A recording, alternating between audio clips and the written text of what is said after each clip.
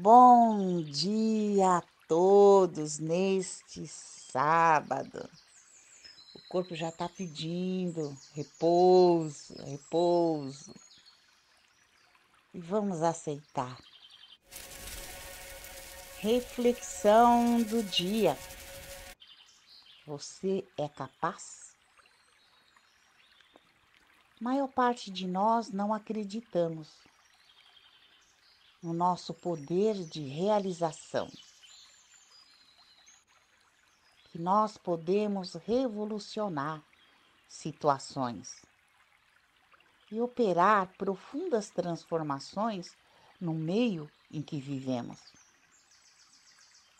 Mas nós somos mais capazes do que pensamos ser. Por isso, mentalize assim a força que há em você. E diga, ó força suprema que habita dentro de mim.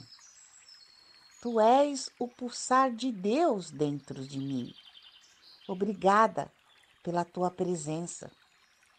Eu reconheço que não tenho mais motivos para ser triste, ou mal sucedido, ou mal sucedida porque tu estás comigo.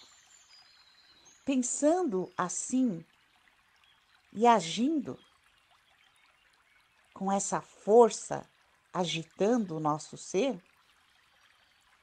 a força infinita de Deus, ela se plenifica em todos nós e nos traz mais sadios espiritualmente e fisicamente. Bom dia a todos!